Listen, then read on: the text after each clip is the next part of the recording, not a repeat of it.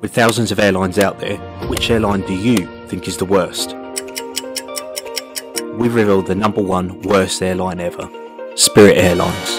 But why do so many people hate this airline? And what are they doing so badly to be the worst? Stay tuned. They have a notorious reputation, but really, over 9,000 terrible reviews? Why you ask? Don't travel with Spirit. Avoid at all costs ridiculous prices. Enough to break anyone's spirit. Just wait for more. Take a step into our office.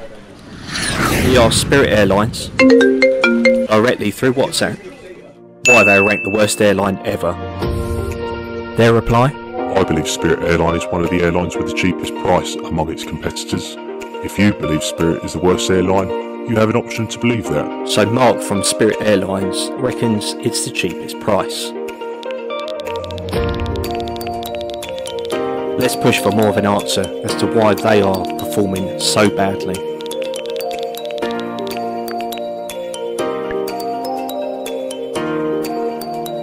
Apologies, I'm afraid I have no answer on your question.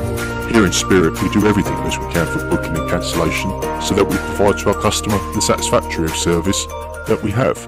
Okay, so everyone's got their own opinions about Spirit Airlines, and maybe I'm wrong.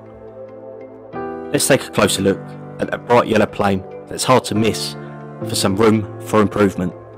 Spirit Airlines seats have 28 inches of seat pitch. In comparison, most airlines have 30 inches.